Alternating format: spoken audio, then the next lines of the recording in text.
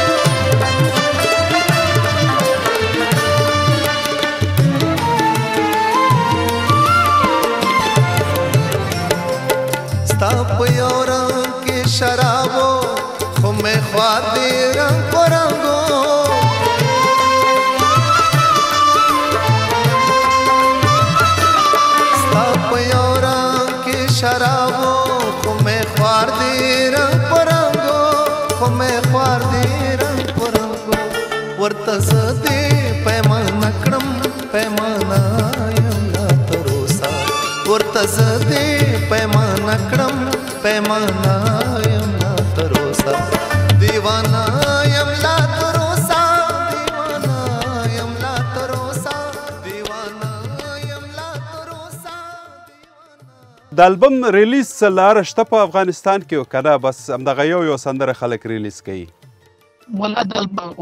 یو یو زه مونږ جوړو چې دا ودانې شوې یا شپږ یا اته دې نه بس سیډي جوړو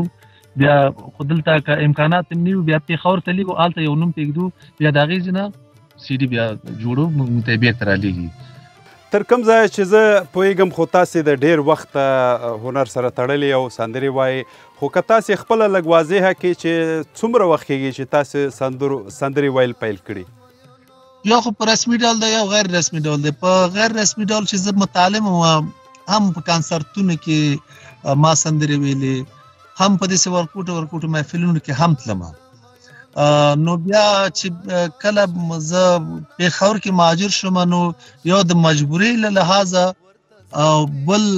زما شوق هم ډیر زیات و چې رسمن زه شاګرد شوم د شاولي استاد رسم چاګرد شوم بیا رسمي موسیقي شروع کړه بیا هغه وختونو چې نور کارونه مې ټول شاته پرې خو د موسیقي ته مخه تاسو ته بریالی استاد د خپل سندرو تعداد معلوم دی څومره البمونه لرئ څومره سندرې مو تر اوسه ویلي زما پنځه البمونه دي چې د سیفټریکس دي که نه چې په هر یو کې چې لس حساب نو پنځوس پنځوس سندرې به شي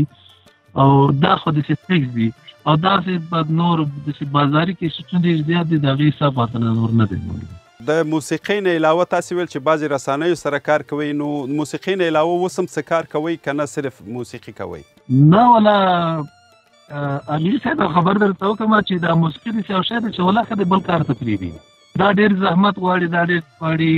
دا دې ته به کېنې دې ته به ریاضت کې دې ته به شاعري لټې دې ته به کمپوز لټې دا اواز کې به په اواز به تمرین دی بیا به خبرونه ته به دې ټلویزیون ته به دې رادیو ته به دې واده نو ته به دې پیسې به پیدا کې خپل دا خبره وکړي نو مشکل دی چې سړی هغه وکړي بل کار وکړي تاسې دغه نوي راتلونکي هنرمندان یا کوم خلک چې د هنر سره شوق لري تاسې ورته څه مشوره ده چې کم از کم څومره زده کړې دې وکړي او څومره دې باید د ورځې ریاض وکړي چې هغه هغه نه یو ښه هنرمند جوړ شي اول زموږ از نصیحت دا دی چې اول اول سړی خپل استعداد وګوري چې پاکي هنري استعداد شته او کنه کچا کې استعداد وي هغه د اول میدان تر ودانګي چې میدان ته راغی چې میدان ته راودانګل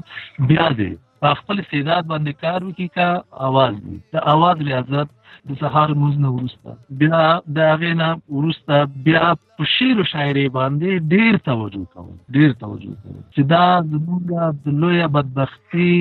چې را روانه ده چې زموږ ډیر سندرغاړي داسې دي چې په شاعري باندې توجه نه کوي زموږ د طبقه چې دی ډیر خراب طرف ته روان دی نو که ښه شاعري باندې فکر وکړي زه فکر کوم چې موږ به ډېر پرمختګ وکړو دې له خاطر چې موږ ډېر ښه شاعران لرو او ټول په کتابونو کې بند پراته دي دا کتابونه راوباسو همدغه دغه نوي سندرغاړو وظیفه ده وظیفه یې ده چې دا د کتابونو نه راوباسي او خلکو ته وړاندې ښه دلته باید زم یادونه وکم چې دوستانو چې استاد بریالی سره ما هم کار کړی زما هم استاد دی او ډېر څه مې ترې زده کړي کور ودانې ورته وایم ډېره مننه بریالی استاد ستاسې بیا هم ډېره مننه کوم ځکه تاسې مصروف وي خو بیا هم حاضر شوي چې دغه مرکه سره وکړو کور مو ودان تاسې ته خوشحاله او سوکاله ژوند غواړم الله تعالی دې په افغانستان کې خصوصا په ټولو پښتنو باندې صلح راولي الله مو مل شه قدرمنو کتونکو دا و زموږ نننۍ خپرونه زه امید لرم چې ستاسو به خوښ شوی وي که څه هم د بریالی استاد د انټرنیټ کیفیت ډیر ښه نه و خو ما خپل هڅه وکړه چې دغه مرکه تاسو ته وړاندې کړم تر هغه چې بیا هم د همداس یو تکړه هنرمند سره ستاسو په خدمت کې حاضرېږم اجازه درنه غواړم د خدای پامان